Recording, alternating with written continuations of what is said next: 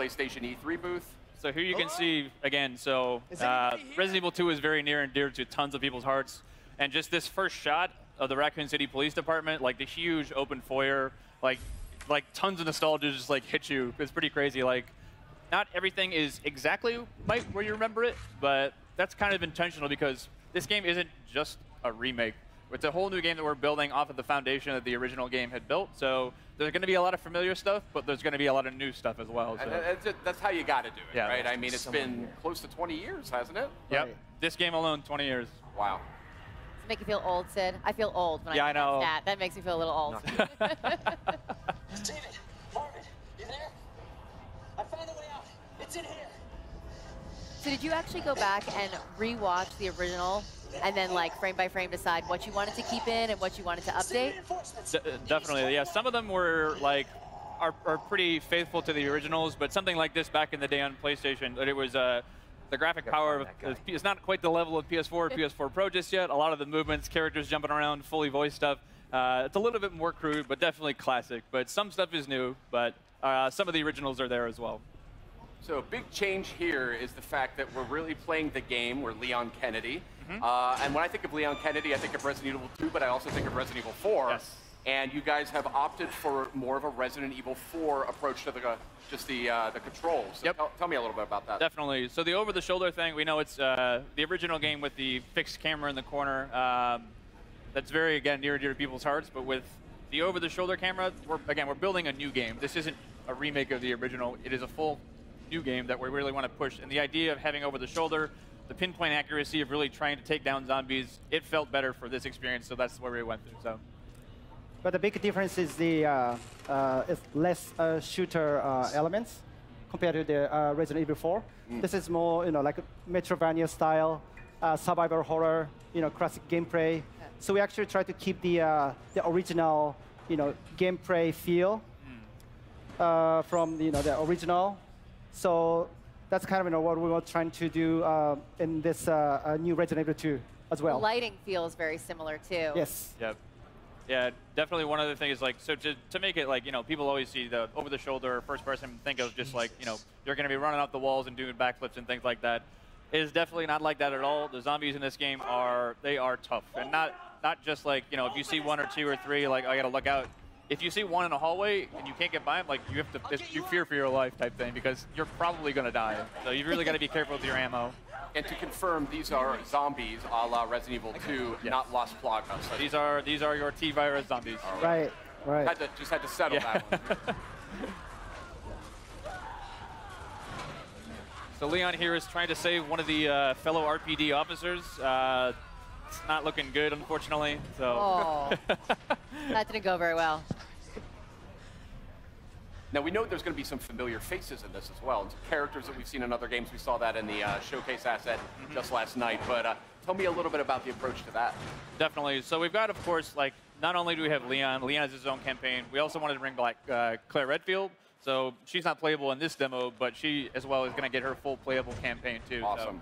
So, um, the rest of the characters are kind of uh, we haven't really confirmed too much yet. So I advise you to go back and watch the trailer. You can kind of, kind of make some good guesses, I think, based on those. But uh, we'll leave it to your imagination. Awesome. This is cool here. This is super tense.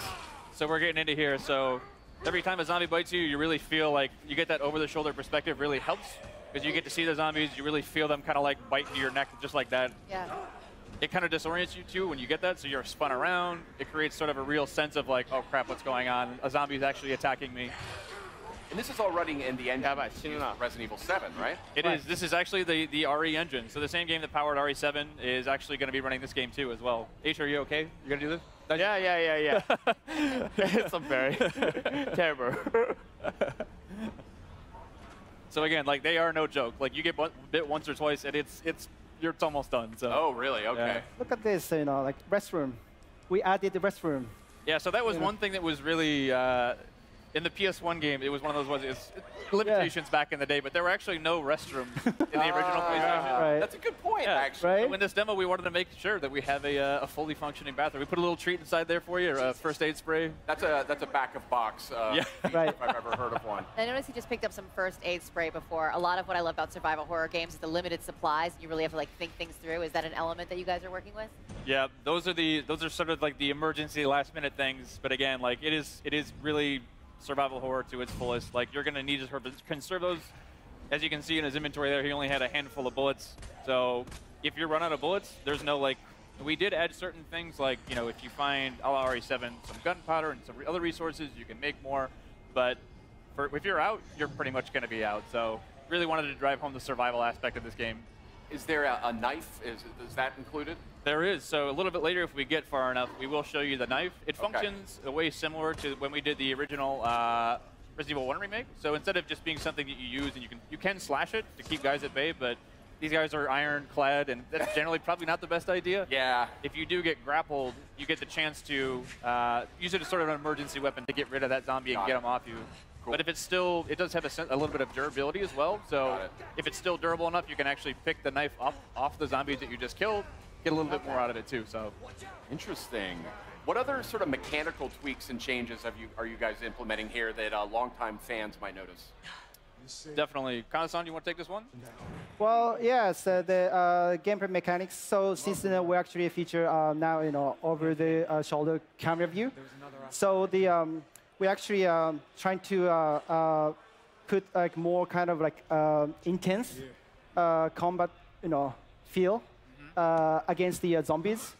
So uh, and also the uh, the way you know like Leon is actually you know uh, shooting is the kind of like more like natural uh, feel more close to the uh, like Resident Evil 7 kind of combat style. Yeah. There is some stuff a little bit later in the demo too, where uh, it wasn't present in the original game, where it's a little bit, it kind of, uh, again, pushing that survival aspect of the game. You can find like wooden boards to board up windows, Oh, to choose whether you want to board up that one, if that zombie is a really problem for you.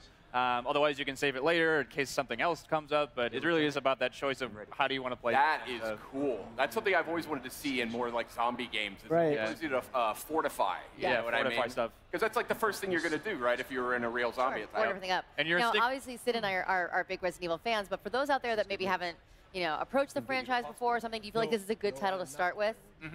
Definitely. I mean, this this is almost the gen- like Resident Evil 2 is obviously the second game in the franchise, but really is sort of the genesis of where a lot of the groundswell around the brand came up. So again, if if you haven't played this title before, the story is about Raccoon City is a midwestern town. A mysterious outbreak hits.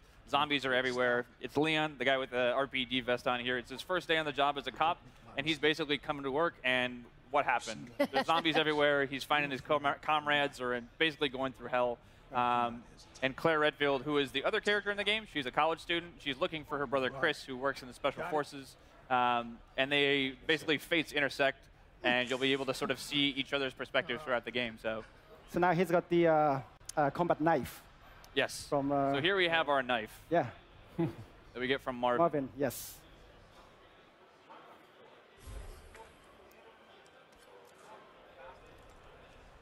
There you go, kind of like the classic slash. Using the knife always reminds me back in the day. It's like you get a couple rounds inside the zombie, and then like just to make sure, get a couple slashes on the ground. Because half the time they'll come up and just like grab you as you walk by. This is not how I imagined. So again, a lot of these rooms, especially this one too, it's like that door necessarily wasn't there in the first game or the original RE2, but this room is super iconic for a lot of reasons, but it's not quite the same as you might remember it too. If you turn this corner in the original game, you might have remembered something crawling by that window. Uh, that's cer- it's not there anymore, but it takes a lot different forms later. So again, we want to keep people on their toes. They expected that there, but we're going to move it because we don't want you to know everything that's Yeah, going to you come up. can't have the dogs jumping out of the same window, Yeah. right? I- RE's all about jump scares and getting Right. people off their seats. So like, Yeah. if they know everything that's coming, that's no fun. Now, I, I don't want you to spoil anything here, but you know, I've played Resident Evil 2 quite a few times. Um, is there the same general sort of arc to the experience, or There is. So I'd say that the story on the whole. Here's a, a great shot of Oh, wow. Oh, the man. RE Engine's uh, proudest work here. Uh, it's pretty nasty. crazy? But yeah. So the story as a whole, like in general, you'll see a lot of the same things be happening. But again, it's, it's not exactly the same. So you'll see, you know, characters that you might have just like talked with very briefly. You get a little bit more backstory into there. Places that you just walked by in downtown Raccoon City, you're going to get a chance to go in there and play a little bit more. So And, and you had mentioned Claire will be a playable character. Will that sort of cross over, sort of, they had some, the ability to sort of interact with each other's storyline a little bit in the original game. Right, from time to time. So it's, a, it's going to be slightly different because back in the day it was a, we call it a zapping system. You could play A and B scenarios, but we wanted to have each character have their own separate campaign. They certainly will be crossing over, but it's going to be, uh, you know, updated, modified for this new version of the game too. So Awesome. This is looking great, guys. I'd love to sit here actually and do this for about another 15 or 20 minutes, but uh, I think we actually got to get going, Okay. Um, which is a super